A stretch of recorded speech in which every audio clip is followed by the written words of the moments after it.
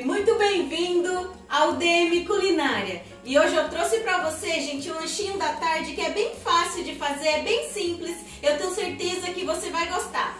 Hoje eu vou fazer ele salgado, mas se você quiser pode estar tá fazendo doce também. Não sai daí. Vem comigo.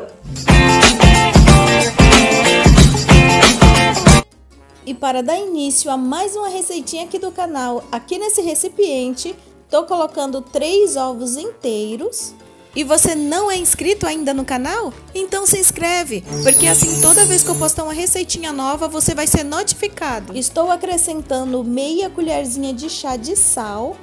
Eu vou fazer salgado, mas se você quiser doce, é só você colocar uma pitadinha de sal e acrescentar duas colheres de sopa de açúcar.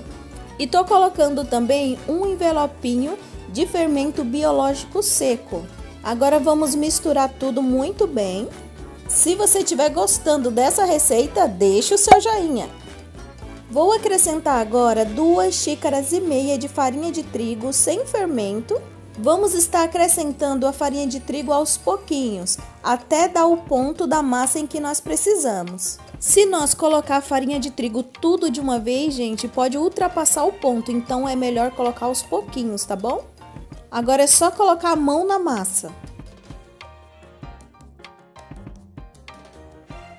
Prontinho, meus amores. A massa já está bem bonita, tá vendo? Não gruda mais na mão, tá bem lisinha.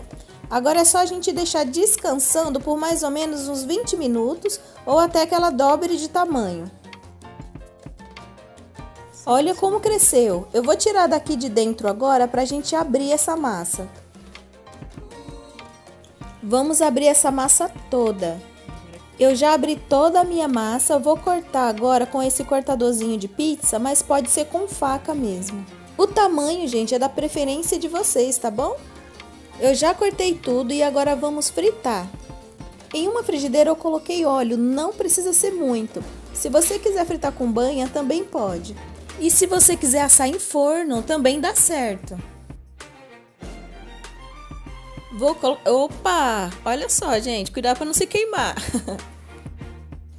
Agora a gente vai deixar fritar de um lado e depois nós vamos virar o outro lado.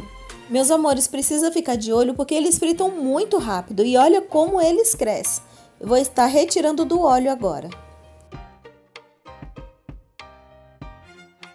E se você quiser, você pode estar polvilhando aqui por cima açúcar, canela, do jeito que você achar melhor. E eu espero muito que vocês tenham gostado. Eu sou Daiane Matos, um grande beijo no coração de vocês e até o próximo vídeo. Eu vou abrir uma aqui para vocês verem. Hum. Beijo, gente. Fica com Deus.